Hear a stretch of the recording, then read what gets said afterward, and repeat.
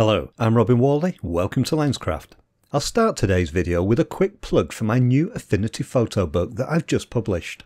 It's called Affinity Photo How To and I'll include details of it in the YouTube video description. Now if you watched last week's video, you'll know that I showed how to do exposure blending with Adobe Photoshop. This has prompted a few emails and comments asking how to do the same thing in Affinity Photo. So this week I want to show a similar process for exposure blending using Affinity Photo. As I explained in last week's video, the first step is to select and process the raw files you want to use for the exposure blend. You then need to process these using the same settings but adjust the exposure and perhaps colour to suit what you need from each image. Today I'm not demonstrating the raw conversion again because I want to concentrate this video on the exposure blending in Affinity Photo. If you want to know about the raw processing step, take a look at last week's video. I'll include a link in the YouTube video description. The images I've selected and processed for this video were shot in Snowdonia in Wales back in 2016. I've selected two images and edited one to optimise it for the sky in the frame, and I've edited the other image to optimise it to use for the foreground. I've then converted these to TIFF files, which I've then opened in Affinity Photo for editing. Currently both images are open separately in Affinity, so my first step is to combine them into one image as separate layers. To do this, I'm just going to use the copy option in the edit menu to copy the darker image which I'll be using for the sky. I'll then switch to the lighter image and select paste from the edit menu. Now I can rename the layers to be sky and ground so that I don't get confused later. Usually I like to have the darker layer on top so that I'm painting in the darker exposure, but this is really just a personal preference. My next step in the process is to align the two images. Whilst I shot these with the camera on a tripod, there's still a risk of movement between the two frames. There are a couple of ways that I could align the image, but in this video I'm going to show how to do it manually. I'll start by selecting the Move tool from the Tools palette. This allows me to grab one of the layers and then drag it to reposition it. But importantly, it also allows me to move the layer using the arrow keys on my keyboard. Now I'm going to change the blending mode of the top layer to difference. This highlights any differences between the two layers. Now the areas I'm interested in are along the edge of the hills where the sky and land meet. When I zoom in on that area, you can see that there's a white edge where the two images don't line up accurately. To fix this, I'm going to nudge the sky layer into position with the arrow keys on my keyboard.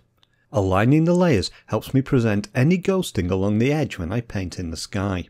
With the layers aligned, I can return the blending mode of the layer to be normal. My next step is to hide the sky layer using a mask. To do this I'll select the layer in the Layers Studio panel and then click the Add Mask icon at the bottom of the panel. This adds a new white mask to the layer. I can then invert this mask by selecting it and then pressing Command and I on my keyboard. If you're using a Windows PC, that's Control and I. Once the sky layer has been hidden by the mask, you'll only see the ground layer. The next step is to select the sky. As with most things in Affinity Photo, there are several ways to do this. For this video, I'm going to use one of the colour channels in the image, but you could also use luminosity masks or the selection tools. I've previously published videos explaining these techniques, so I'll include links to those videos in the YouTube video description. To use one of the colour channels in the image, I need to switch to the Channel Studio panel. Now I can select each of the colour channels in turn to see which one I want to use. What I'm looking for is a channel that creates a good separation by having a light sky area and a dark ground. I could probably use any of these channels, but I like the red one because it has a natural feel where the distant hills are fading out. To create a selection from the channel, I can right click on it with my mouse and select Load to Pixel selection in the pop-up menu.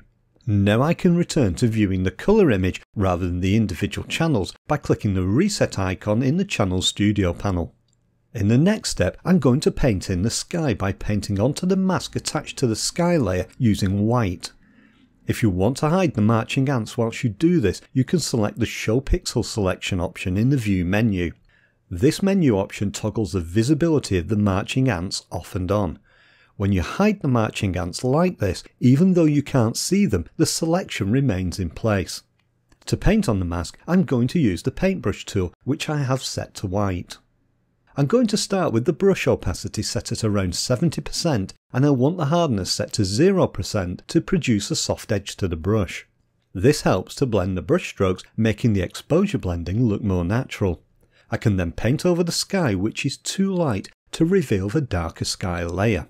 I'll also paint over the lake to reveal the darker exposure in that area.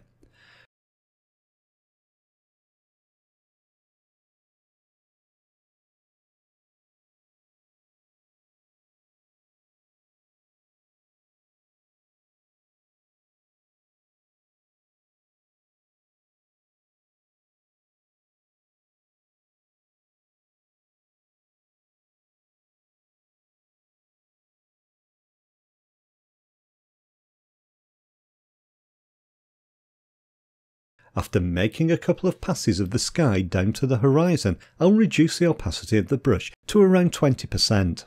Now I'm going to switch to black and reduce the size of my brush to paint over the transition zone to improve the blending in that area. This helps me keep the distant hills lighter than the nearer foreground to emphasise a feeling of depth in the image.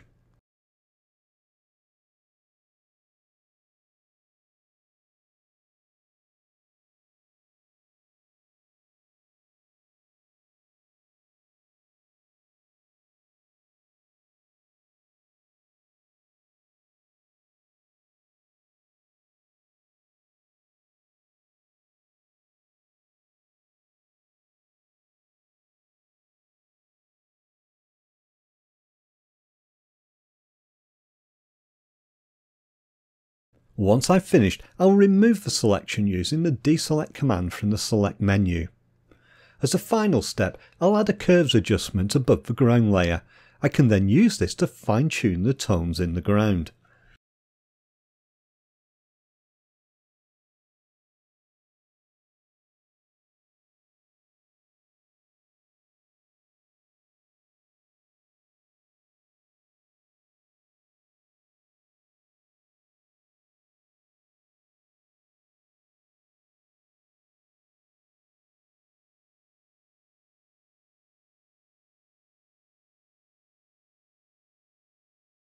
Then I'll add a second curves layer adjustment above the sky layer. Because I want to prevent this adjustment from affecting the ground layer, I'm going to attach it to the sky layer. When I right click on the new curves layer, I can select the mask to below option in the pop-up menu. Now when I apply the adjustment with the curves, it only affects the sky layer. Whilst I like the effect this has on most of the sky, I think it's darkening the top left too much, as well as a couple of areas in the transition zone. To prevent this, I'll just paint on the curves layer mask using black to hide the effect in those areas of the photo.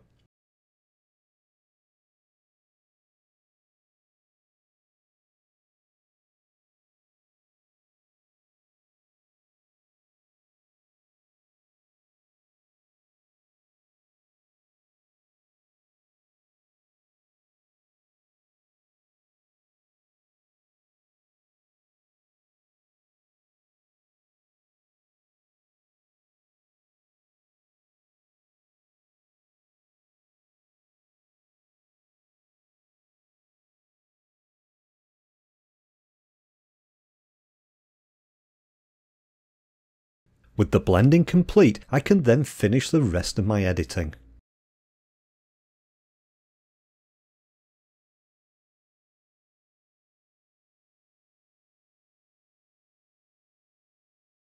I hope you found today's video helpful. If you have, please share it and don't forget to look at my new book.